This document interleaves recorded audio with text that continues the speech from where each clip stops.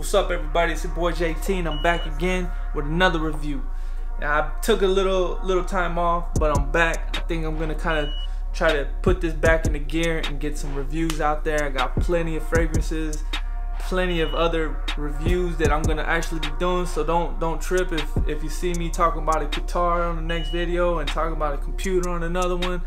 That's just how I'm gonna do it. I'm gonna just start talking about everything that I have and I want to review. I'm gonna have fun with this.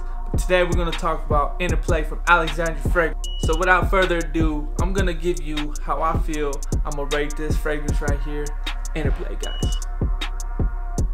Now I've seen this a lot talked about on the Facebook page and and I didn't know anything about Baccarat Rouge 540, never heard of it, so I wasn't trying to really go out there and get it.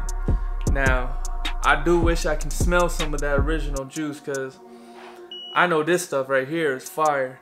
So I'm only guessing the original is just straight dope. Gotta just put it out there. This right here, regardless of how close it is to the other one, it'll suit you just fine.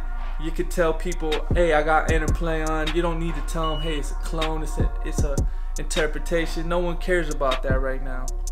I live around a bunch of people, I work around a bunch of people who don't know what the hell Baccarat Rouge is. And I'm cool with that because I don't know, you know, I might tell a person about Creed, they don't know about Creed. You know, that's just me personally. I know about certain things. You probably know 10 times more than me, but it doesn't matter because at the end of the day, if a fragrance is dope, it's dope. If you like a fragrance and I don't like a fragrance, or if I like a fragrance and you don't like it, it's whatever floats your boat.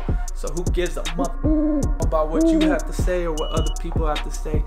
This shit's dope. Get yourself some interplay. Check this one out go on some reviews, hear nothing but good things. I've heard a couple people say that it smells like um, a dentist office or some latex gloves, but I do not do not get that off of this.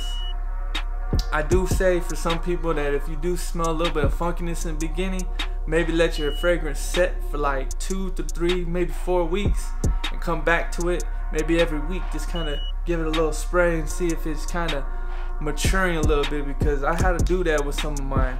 So from personal experience, let your fragrance sit if it's not fire from the beginning and if it smells like crap at the end of the four weeks, maybe it's just not a smell for you.